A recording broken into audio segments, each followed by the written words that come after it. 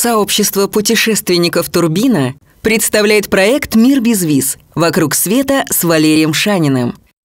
Путешествие по Таиланду, Лаосу и Вьетнаму стало очередным этапом проекта «Мир без виз», в рамках которого Валерий Шанин путешествует только по безвизовым для россиян странам. В поездке по Индокитаю его попутчицами стали Светлана Шанина и Оксана Стародецкая. Индокитай. Сезон дождей. Путешествие начинается в Бангкоке. По самой банальной причине. В этом городе находится крупнейший аэропорт Индокитая. Лететь сюда из Москвы дешевле, чем в Лаос или Вьетнам. Буддизм – государственная религия Таиланда. Король считается главой всех тайских буддистов. А самая почитаемая буддийская реликвия – изумрудный Будда – хранится на территории Королевского дворца в монастыре Ват-Пракео. Туристам вход открыт. Нужно только соблюдать дресс-код. Никаких шорт, футболок без рукавов и коротких юбок. Плечи и колени должны быть закрыты. Ну что, сейчас вот оденем, нужно прийти, посетить храм Будды. На территории Ват-Пракео можно увидеть модель знаменитого камбоджийского храма Ангкор-Ват – ступы, храмы, скульптуры. Фрески с изображениями эпизодов индийского эпоса «Рамаяна». Монастырь строился по строгим тайским канонам. А при возведении Королевского дворца архитекторы свободно сочетали элементы национальной и европейской архитектуры.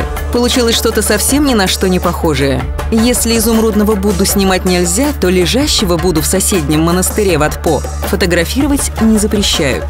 Этим туристы и занимаются. Сами же тайцы приходят в храм для того, чтобы улучшить карму. Один из способов – денежное пожертвование.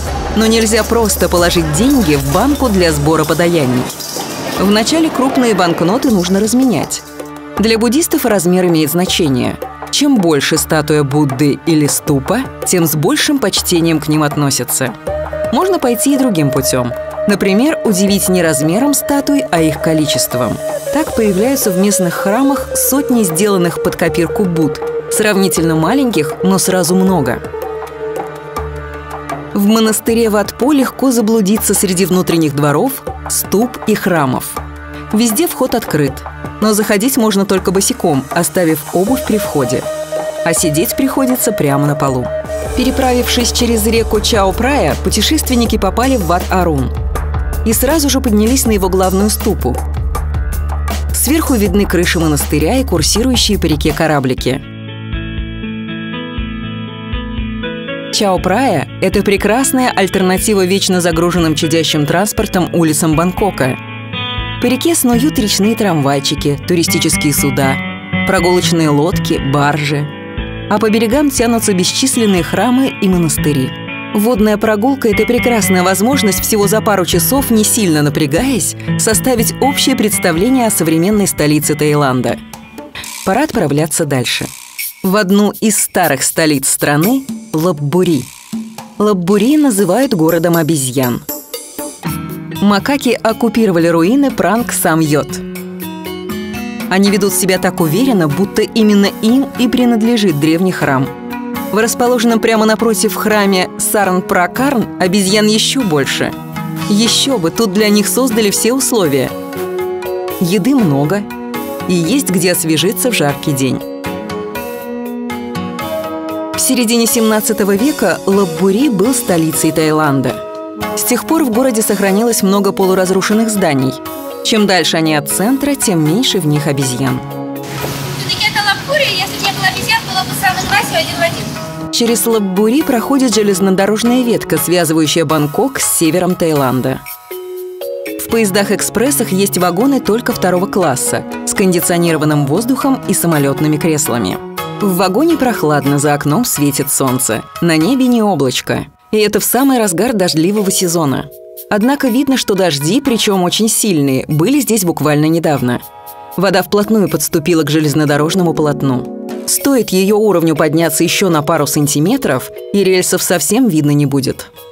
В городе Пиццанулок на берегу реки Нан стоит Ват Пхра Сиратана Махатхат или просто Ват Яй – в нем хранится бронзовое изваяние Будды – Будда Чинарат.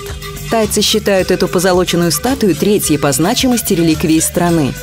В храме, где она установлена, всегда много паломников. Кто молится, кто медитирует, кто гадает, кто фотографирует. Вообще-то фотографироваться спиной к Будде – кощунство. Но монахи уже устали это объяснять и смирились. Просят только не позировать стоя, чтобы не закрывать своим смертным телом бессмертный лик просветленного.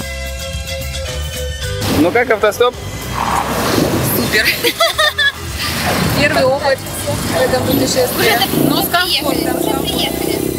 В начале VIII века тайский князь Банг Клангхао воспользовался ослаблением империи кхмеров и провозгласил себя королем. Он стал основоположником первой тайской королевской династии, а Сукхатай – колыбелью сиамской цивилизации, отцом городов тайских. Руины храмов и монастырей разбросаны на такой большой территории, что обойти их пешком нереально. Можно арендовать тук-тук или мотобайк. Но самый подходящий вид транспорта – велосипед. Самый величественный монастырь Сукхатая – Ват Махатхат, который был частью комплекса Королевского дворца. Сохранилось основание храма со статуей сидящего Будды и центральная ступа Чеди с вершиной в виде бутона лотоса. Основание ступа украшено изображением чинно шествующих монахов. С первых дней существования Тайского королевства государственной религией стал буддизм – но одновременно с ним сохранились и древние анимистические верования. Короли молились одновременно и Будде, и духам, и богам. Религиозный синкретизм и веротерпимость характерны для Таиланда и сейчас. Наряду с гигантскими храмами, ступами и статуями Будды есть и совсем маленькие, но популярные у паломников языческие святилища. Например, посвященные индуистскому богу Шива, вернее его фалосу – в проекте «Мир без виз» есть принцип «каждая ночь на новом месте». Значит, вновь пора в путь.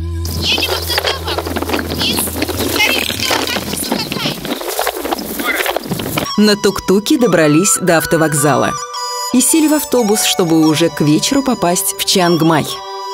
Чангмай – столица Северного Таиланда, город монастырей и храмов – Важная, а для многих и единственная задача во время посещения буддистского святилища – подношение Будде.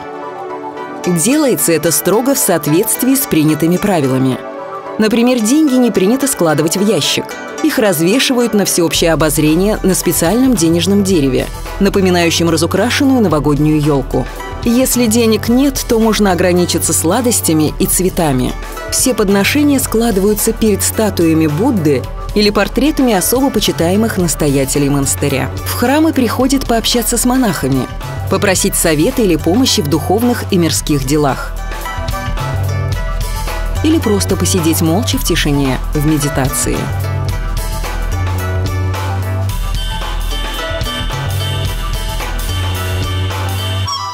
Гигантская ступа монастыря Ватчедилуанг была построена в 1441 году – Будда здесь представлен во всех видах – и лежащий, и сидящий. А одна статуя, кажется, попала сюда из Китая, настолько это упитанный и веселый Будда. В основанном в 1345 году монастыре Ват Пхра-Синг хранится позолоченная статуя Будды. Будда Пхра-Синг – вторая по значимости буддистская реликвия Таиланда.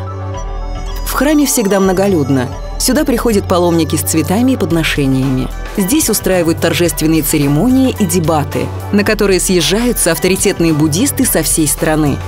Самые заслуженные монахи удостаиваются высокой чести. Их статуи отливают из бронзы и покрывают тонкими золотыми пластинками. А недавно научились делать и восковые копии, которые вообще как живые. От оригинала не отличишь. Ватсуандок находится уже за пределами городских стен – его название в приблизительном переводе означает «поле цветов». Главный храм поражает своими гигантскими размерами. Он самый большой в Чангмае.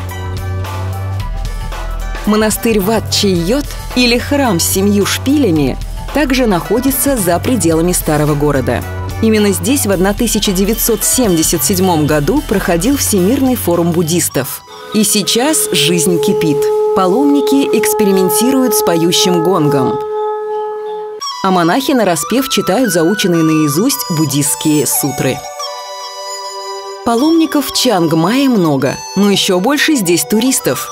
Поэтому производство и продажа сувениров стали чуть ли не главными занятиями местных жителей. Ювелирный магазин, похожий на крытый рынок размером с футбольное поле, официально считается крупнейшим в мире. В дополнение к шелковым и хлопчатобумажным тканям здесь освоили производство и тканей из стеблей лотоса. Из них вытягивают длинные нити и заряжают их в ткацкие станки – Солнцезащитные зонты делают в полном соответствии с традиционной технологией – из дерева, шелка или вощеной бумаги. Расцветки самые разные, но обязательно яркие и нарядные. Пора ехать дальше. Оксана Стародецкая предпочла остаться в Таиланде, а Валерий и Светлана Шанины отправились в Лаос. По пути к границе сделали краткую остановку в Чанграе, чтобы побывать на горе Чомтхонг – на трех уровнях концентрическими кругами расставили 108 каменных фалосов. Святилище пользуется огромной популярностью у женщин. Говорят, если здесь помолиться, одинокая девушка сразу же найдет жениха, а замужняя родит ребенка. Из Чанграя Валерий и Светлана отправляются на автобусе в городок Чанг-Хонг. Затем уже на тук-туке доезжают до пограничного перехода и на лодке переправляются через Меконг, по которому проходит граница Таиланда и Лаоса. Успели вовремя. Как раз к отправлению автобуса в Луанг-Пхабанг. Ехать придется всю ночь. Луанг-Пхабанг был столицей одноименного королевства. После победы социализма и свержения монархии построенный французами Королевский дворец реквизировали. Позднее в нем открылся Национальный музей – комплекс Королевского дворца входит несколько зданий, храм и искусственный пруд. В Луанг-Пхабанге сохранилось свыше 30 древних монастырей. По ним можно ходить и день, и два. Но путешественники предпочли отправиться к водопаду Татсе. Вначале на маршрутке, а затем на моторной лодке по реке Намхан –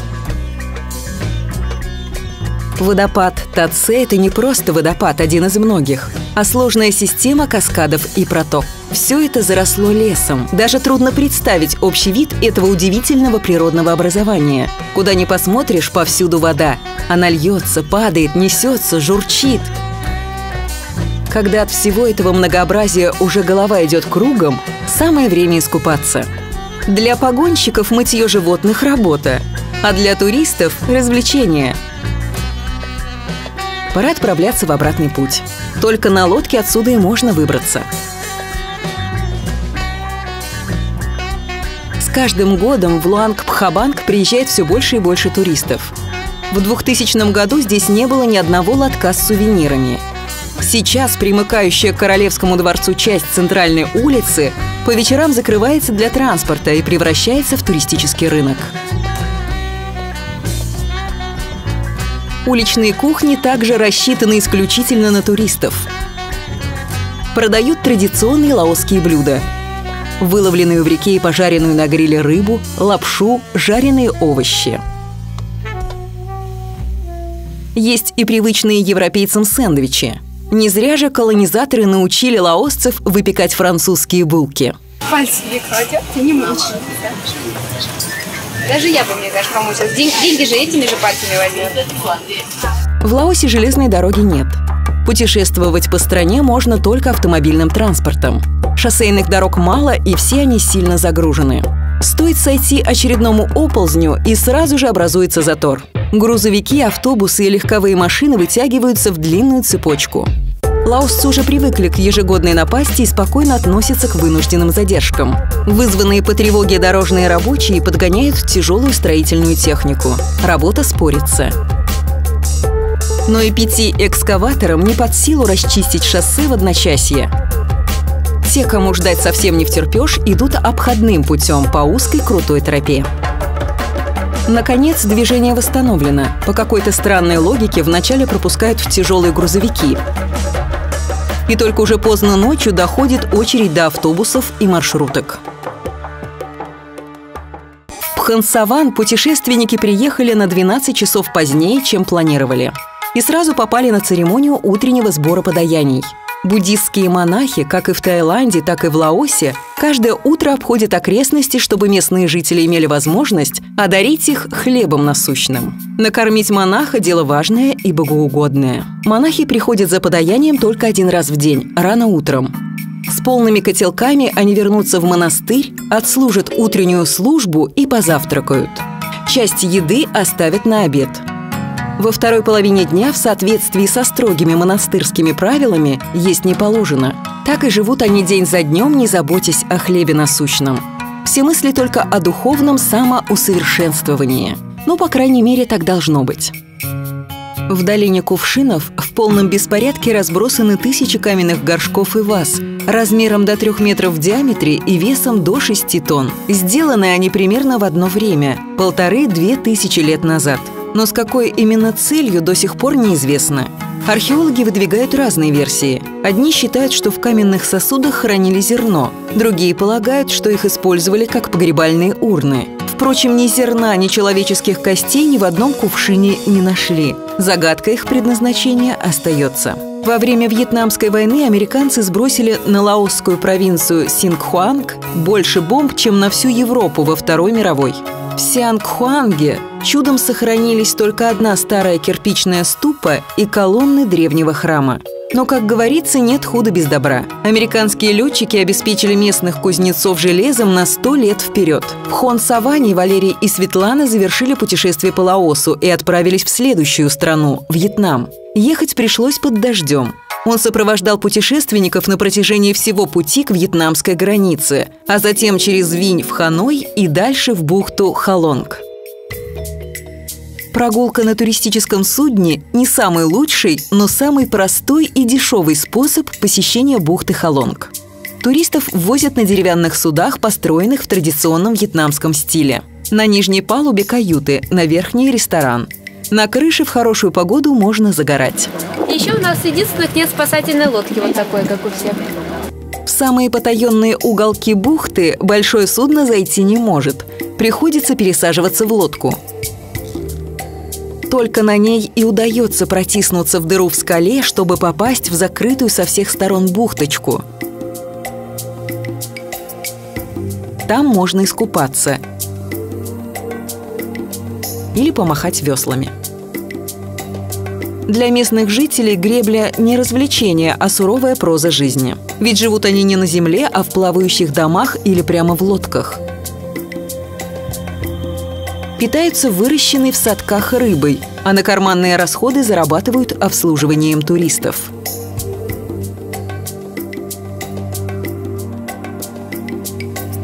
Пещера Тхьянкунг или Небесная обитель открыта сравнительно недавно, и стены и потолок пещеры подсвечены сотнями скрытых от глаз прожекторов. Самом центре пещеры сидит сотрудница и с увлечением читает газету, не обращая никакого внимания на отражающийся от стен гул сотен голосов. Озеро Хуанкьем – духовный центр Ханоя. Старинная легенда гласит, что однажды некий Лелой ловил здесь рыбу и увидел, как мимо проплывает гигантская черепаха, на панцире которой лежит меч. Рыбак тут же схватил свалившийся с неба подарок, и его сразу потянуло на подвиги. С помощью чудесного меча Лилой победил в очередной раз напавших на Вьетнам китайских агрессоров и стал национальным героем. После победы Лилой вернулся на озеро, чтобы отблагодарить духов за помощь. И случайно уронил меч в воду. Найти его не смогли, сколько ни пытались. Как пришло, так и ушло. И озеро стало называться «Озером возвращенного меча» или по-вьетнамски «Хуанкьем». Эта легенда зародилась в 15 веке. С тех пор ее передавали из уст в уста. Меча так никто и не нашел, а черепаху, как полагают, ту самую, поймали и заперли в стеклянном саркофаге в храме Нефритовой горы. Ей поклоняются наряду с китайскими богами и духами предков. Впрочем, во дворе храма народу больше, чем внутри него. Игра в шашки увлекает вьетнамцев не меньше, чем богоугодные церемонии. Храм литературы был основан в 1076 году и посвящен Конфуцию. В нем открылся первый во Вьетнаме университет принимали по результатам экзаменов и бесплатно учили от 3 до 7 лет. Студенты изучали труды Конфуция и китайскую классическую литературу. Успешно сдавшие выпускные экзамены получали степень доктора литературы. Их имена выгравированы на каменных стенах. Большинство вьетнамцев считают себя буддистами. Но буддизм здесь свой, особый. Смесь классического буддизма Махаяны с культом предков, даосизмом и конфуцианством. Алтарей много, и перед каждым выложены подношения. Есть в Ханое и собственный бог – Вернее, дух-покровитель, но очень высоко почитаемый. Хуен Тхиен Чанву. Его бронзовая статуя установлена в храме Хуантхань. Перед ней молятся, а ступню скоро затрут до дыр. Говорят, прикосновение к ней приносит удачу. В XI веке на высокой деревянной свае посреди маленького пруда установили храм с золотой статуей богини Милосердия – Пагода на одном столбе благополучно простояла до середины прошлого века. Но в 1954 году ее сожгли французские колонизаторы. Уж очень горевали, что приходится им уходить из Ханоя. Позднее вьетнамцы восстановили уникальный храм, но уже не на деревянном, а на бетонном основании. Вклад колонизаторов в духовную жизнь Вьетнама не ограничивается уничтожением пагоды на одном столбе – Французские миссионеры всячески старались приобщить вьетнамцев к истинной вере.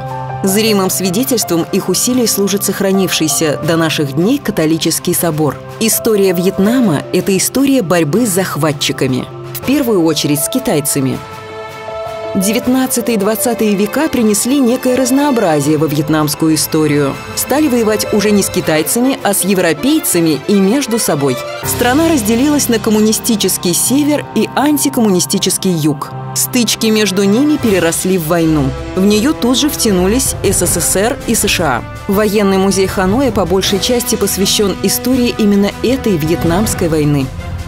На башню, с которой открывается вид на военный музей всякие танки, самолеты и другая техника времен Вьетнамской войны. Музейный двор загроможден образцами американской и советской военной техники. Шагу нельзя ступить, чтобы не наткнуться на самолет, вертолет или бронетранспортер.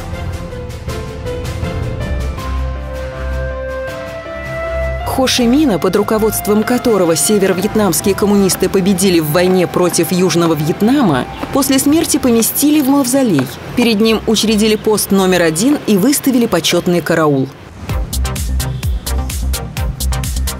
В Ханое закончилось путешествие по Северному Вьетнаму. Валерий и Светлана рано утром отправляются в аэропорт, чтобы улететь в Бангкок. А из бангкокского аэропорта они спешат на остров Кочанг, чтобы уже вечером того же дня попасть на пляж. В сезон дождей купаться в море опасно. Здесь образуются стоячие волны и сильное течение. Редко кто отваживается зайти в море глубже, чем по колено. Остается только целый день плескаться в бассейне. Или отправиться на экскурсию вглубь острова. Поселение есть только на узкой прибрежной кромке земли, а центральная часть острова Кочанг – это сплошные леса и скалы. Здесь много водопадов. Самый большой из них – водопад Клонг-Плиу, расположенный в глубине национального парка.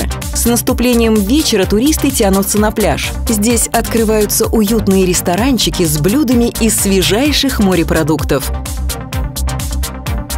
Начинаются выступления жонглеров.